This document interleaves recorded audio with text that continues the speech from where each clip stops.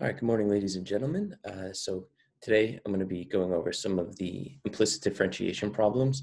So there are only three parts suggested. Um, they were 1C, 1D, and 2B. So those are the problems we will go over. And I'll try to make it quick so we don't have another 30 minute video.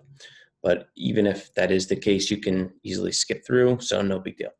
All right, so for starters, I'm going to assume 1A is done and 1B is done with no problem. Now, 1C says find the coordinates of the two points on the curve where the line tangent to the curve is vertical. So I want you to pay attention to the language that they're using here. They're calling it the curve, not the function. That's because this equation represents a set of points that satisfy this equation. Um, and that graph is not a function. And so if a graph is not a function, they, they call it a curve. Um, and notice it says it's a closed curve. So basically, just paying attention to all the language being used, we can get the sense that this curve sort of looks something like like this maybe. Who knows if it looks exactly like that, it doesn't really matter because we don't need to see the exact graph to, to solve these problems. But just for future reference, when you hear closed curve, when you see an equation that has the x's and y's like intermingling, um, that does not necessarily mean that you have a function and it really it means that you might have a curve. Think of about the equation of a circle for, for an example. so anyway, moving on.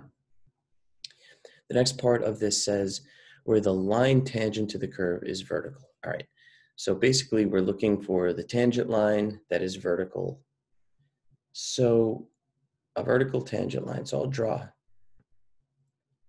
There we go. Let's say that's one of them. Let's say this is another one. Again, my art skills, please, please, please ignore them but this is basically um, just giving you a sense for what they might look like, okay? But what they look like, again, doesn't matter as long as we understand that a vertical tangent line means that the derivative dy dx is undefined. Right, one of the things we know, okay, one of the things we know uh, is that if a vertical line has an undefined slope. So we're going to take our derivative expression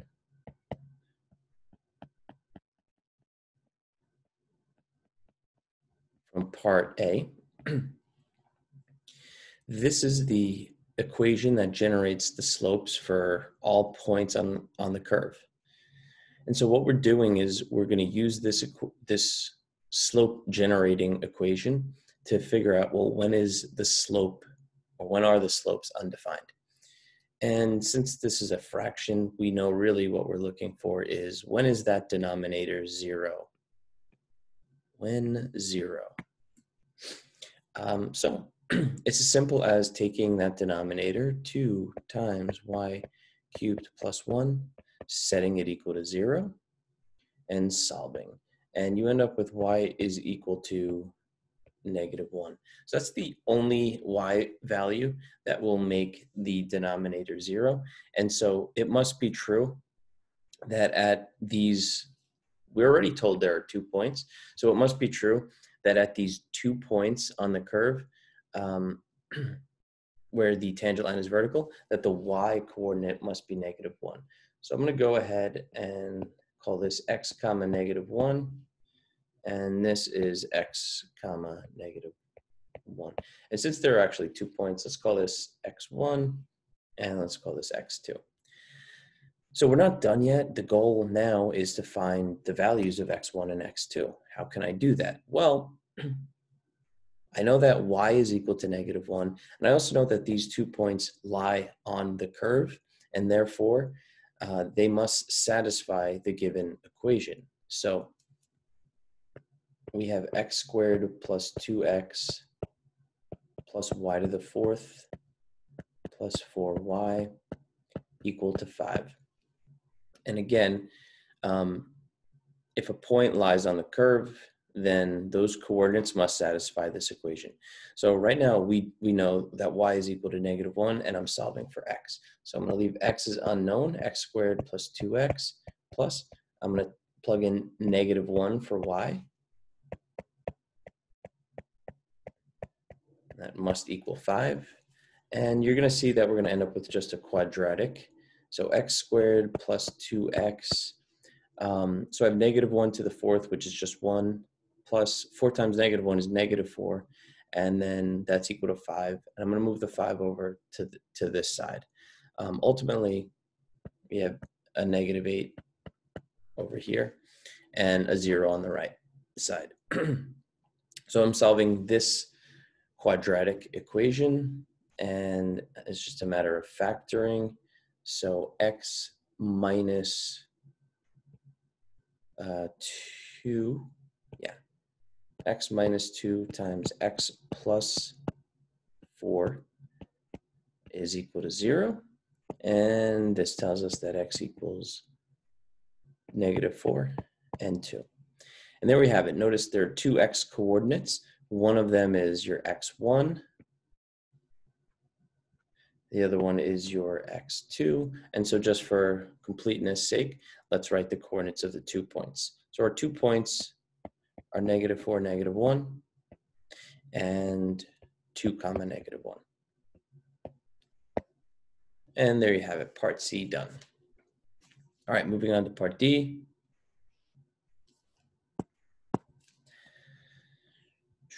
Is it possible for this curve to have a horizontal tangent at points where it intersects the x-axis. Explain your reasoning. All right, so first of all, now we're dealing with horizontal tangent, and we're also talking about points that necessarily must intersect the x-axis. So let's take those two pieces of information one at a time.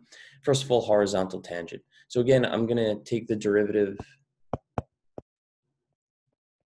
equation because that, that is the equation that generates our slopes for this curve uh, negative x plus 1 all over 2 times y cubed plus 1. Now, we're told that there are horizontal tangents in this problem. Horizontal tangent means that the slope is equal to 0.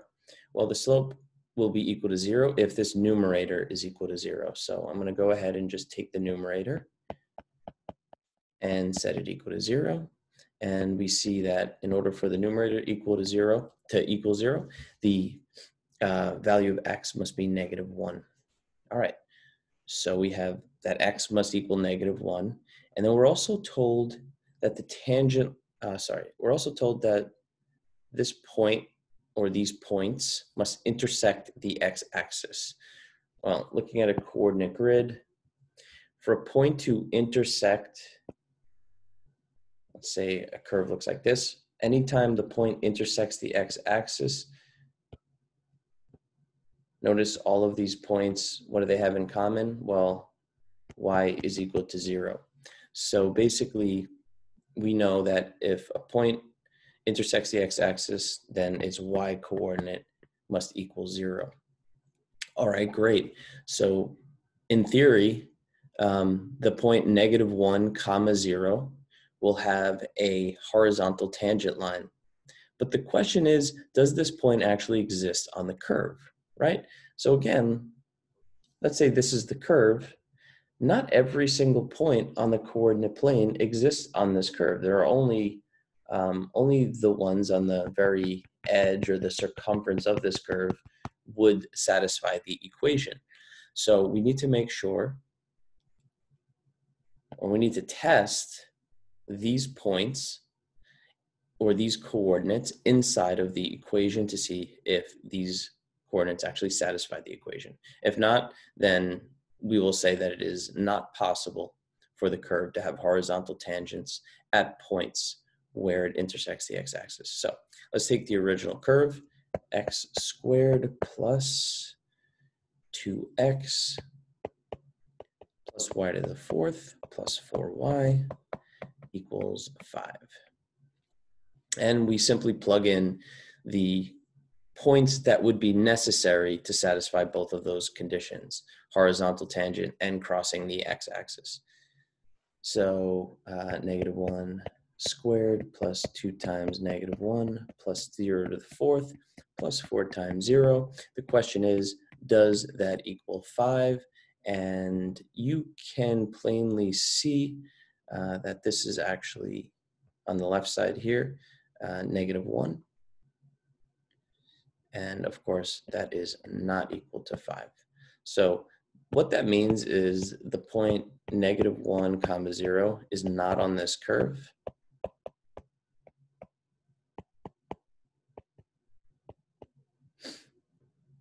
And therefore, um, it is impossible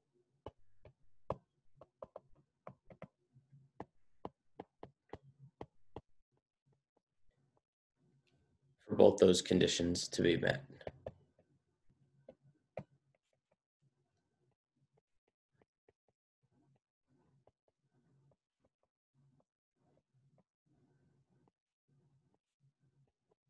on this curve.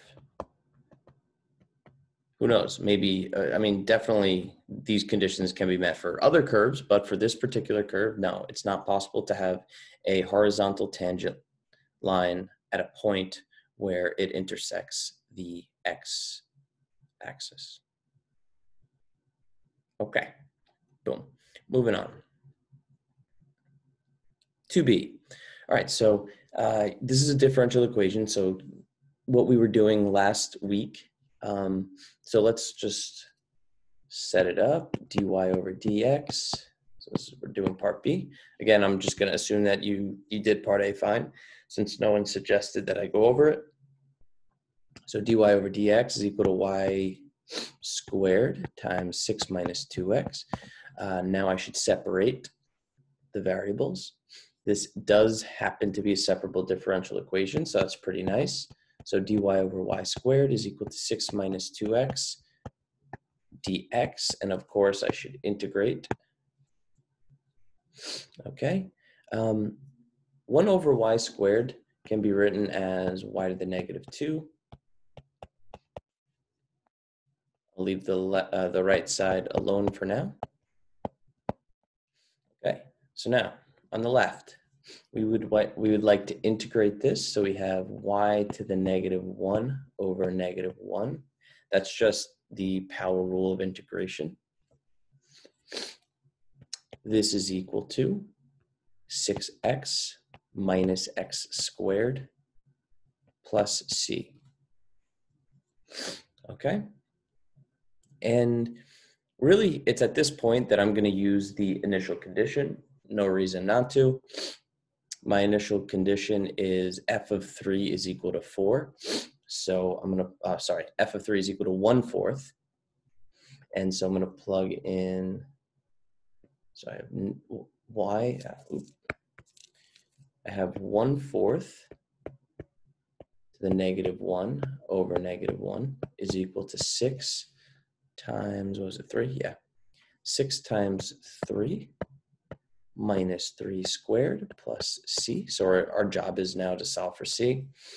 Um, that left side simplifies to negative 4, right? 1 fourth over negative 1, that's really 1 over 1 fourth, which is just 4.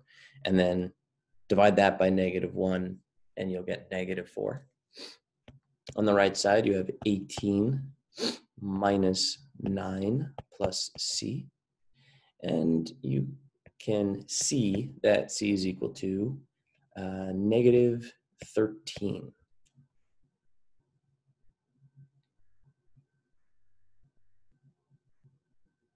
Right, negative 13. Yeah.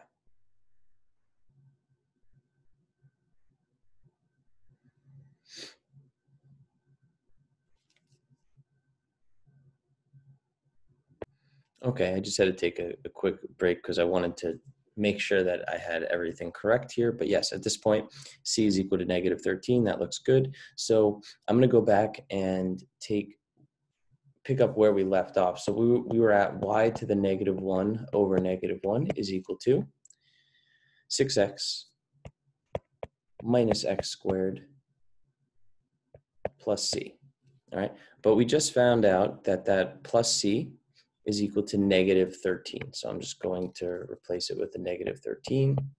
Okay, now remember the goal here is to solve for y to get our uh, particular solution. So first I'm gonna multiply both sides by negative one. So I have y to the negative one is equal to positive x squared minus 6x plus 13. And y to the negative 1 is really 1 over y. I don't want that. I want y. So uh, basically, I'm going to take the reciprocal of both sides to finish up. So we have y is equal to 1 over the entirety of x squared minus 6x plus 13 and that is your particular solution. Okay, so this is the curve that satisfies, or this is the equation that satisfies the differential equation um, with this initial condition. Ooh, a lot of work. Uh, f of 3 equals 1 fourth. Okay, um, I just want to point out that depending on when you solve for c, at this intermediate step, you might have C is equal to positive 13 or C is equal to negative 13, depending on when you uh, when you decide to plug in your initial condition, how much like simplifying you end up doing. But in the end, we should all have the same exact answer. So whatever you get for your value of C is not really significant. Um, because again, depending on what, where in the process of, of simplifying this equation, you decide to solve for C, we, we each get might get different values. But again, in the end, we should all get the same particular solution. So don't pay attention to what I'm getting for C or what you're getting for C. Pay attention to what you get at the very end. That's that's where we should meet and match. All right, ladies and gentlemen, I hope that was uh, informative. I hope you have a great weekend, and I will talk to you on Monday, perhaps. Um, yeah, I'm not sure if I'll have a video Monday, but we'll see. Anyway, uh, take care.